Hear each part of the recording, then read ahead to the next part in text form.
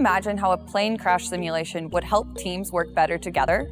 On the surface, it sounds like such a simulation would make even the best professional teams fall apart. But that's exactly what Dubai based the Team Space is doing. They're helping teams prepare for the unexpected by pairing up with dynamic advanced training. Here with us is Andy Fieldhouse, the founder of the Team Space, to talk about how this works and how it can help build more cohesive teams. Andy, can you tell us a little bit about how this works?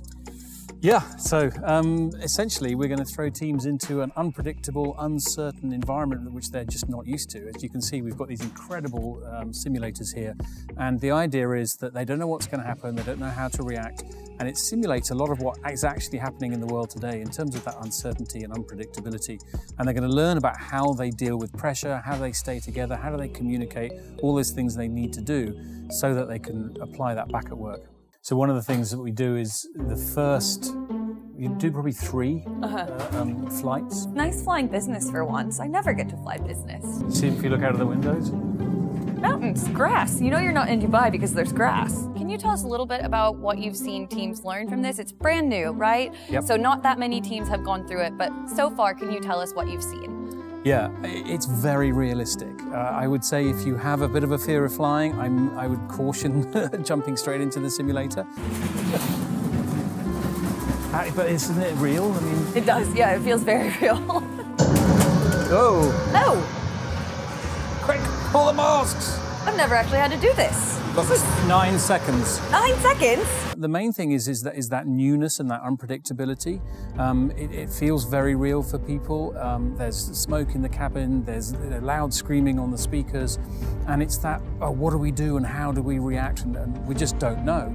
This is still pretty, yeah. pretty mellow. Is I mean, in terms of being in an airplane cabin filled, filled with smoke.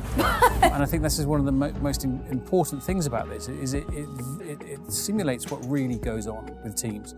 How do we deal with this? COVID's come along, uncertainty. So that's one of the main things. Um, but there's also um, that we want to get through this, we, we want to succeed, how do we get people out? Um, and um, there's also a bit of fun as well. Uh, and also, it's the wow factor. There's nothing like this in the UAE, there's nothing like this in the world really that you can get your teams into.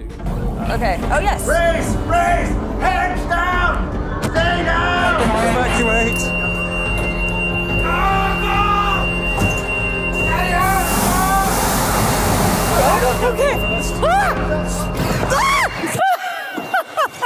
It, does look quite fun. And you mentioned COVID 19 in there. Can you talk a little bit about, in your experience, how you've seen the pandemic change the challenges that teams encounter on the day to day? Yeah, uh, you may pick up a little bit of noise in the background. I think that's some of the screaming going on. um, it's you know obviously the pandemic is a, a once in a century event. Let's hope, and um, I think teams have had to had to react. Um, some of the stuff that I've seen has been a mix of, of breaking teams, but also building teams. Um, I did a survey where I found actually 35% of people who responded said that they, they had built trust through the pandemic. And I think some teams um, have that kind of circling of the wagons mentality where they actually build stronger and they, and they can kind of pull together better. And, and others have really struggled. And one of the big things I'm doing now with a lot of teams is just they haven't had time to work on their team. They've been so frantic dealing with everything in their team, getting on Zoom. And when you, you know, when you're working virtually on Zoom, you, you're kind of just doing the work and you're not having the conversations. You're missing the organic opportunities to connect and build relationships. Those water cooler moments. Water cooler moments. Uh, and, and so, you know, it's a great opportunity now that people are kind of back in the room and, and what's next, whether it's hybrid or virtual or, or back in the workplace, is an opportunity to, you know, take, take control of what's happening in your team. Mm -hmm. And this is just an, it's another type of simulator, really, as you can right. see and we can get people get out of the door. You've crashed in the jungle, um, and it's a little bit sort of jungle survivally. Again, it's it's uh, you can give them different team tasks uh. in here, building shelters, dealing with casualties uh, watching out for spiders and things like that. Learning how to build a fire or yeah, what happens to... over there? And you said you're coach first, right? So and you've been in the UAE now for 13 years. Yep. So can you talk a little bit about your coaching philosophy and what teams need to know to be their best version of yeah. themselves? I think the first thing is that um, that there is a coachable situation, there is, which is pretty much every team really, uh, whether it's broken or ambitious or somewhere in between, or they're going through change. Everything really, you know, they got a, they got a choice of trying to deal with it themselves or getting some help to, to fix what's going on or to improve what's what's happening for them. And the coaching approach is the difference between trying to train someone or train a team and coaching is, is training is education and coaching is realization. They come to moments of powerful realization through the coaching process that allows them to have insight and awareness of, of what's going on.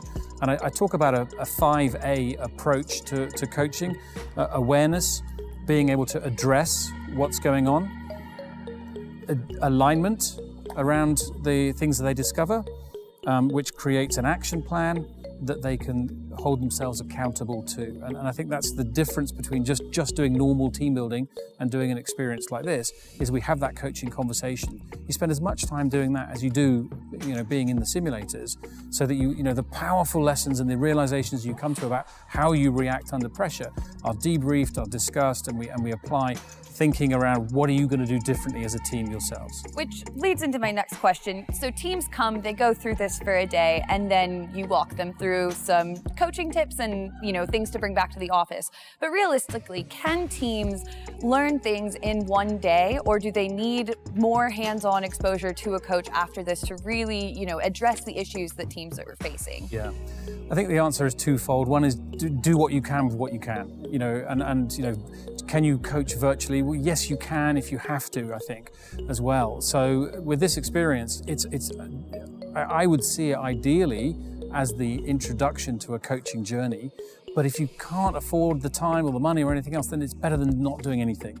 Um, and it is because it's high impact and because we apply the coaching conversation and you will walk away with concrete things that are going to steer your ship in a different direction, it, it has validity and, and it has longevity. But really, it's like if you're running a marathon, you don't go to a coach once to learn how to run a marathon. You go and he gives you things to do. You go away, you try it, you know, no plan survives contact with the enemy, is what they say in the military. So your plan isn't perfect, it needs tweaking. Other things are going to show up. It's going to start the juices flowing within the team. Other realizations will come, and that all needs work. And, and to make effective change happen, really, especially if you've got a lot to work on, it really is a process that takes months uh, and regular visits every month, you know, with, with the coach to be able to, you know, make, make things really happen. Here is the simulated pool, as you can see. It looks like a calm day at the moment, but in a minute, the waves are going to come, the rain's going to hit, and you can see we have a life raft in here, and it's just about trying to survive in the ocean. Uh, and finally, can you just tell us a little bit about how this partnership between the Teamspace and Dynamic Advanced Training came about? Yeah, uh, thank you LinkedIn, basically. So, you know, it's a great business tool and we're all on there posting stuff. And uh, Mark uh, from Dynamic uh, approached me. He, he created um, this facility uh, with the team here, and uh, he saw the opportunity or the, of putting corporate teams into this environment.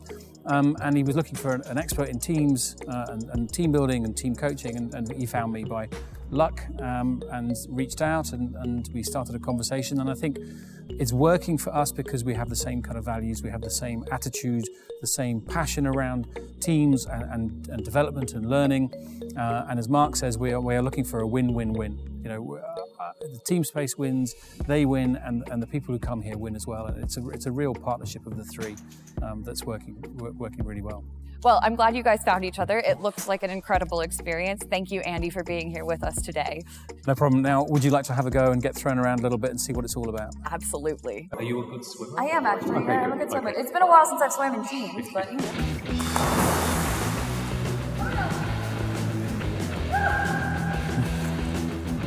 Oh. You're in, you're in, you're in. Come on, pull, pull, pull. Oh! Had enough? You're in, you're in. Yes, go on. Way, well done. Woo.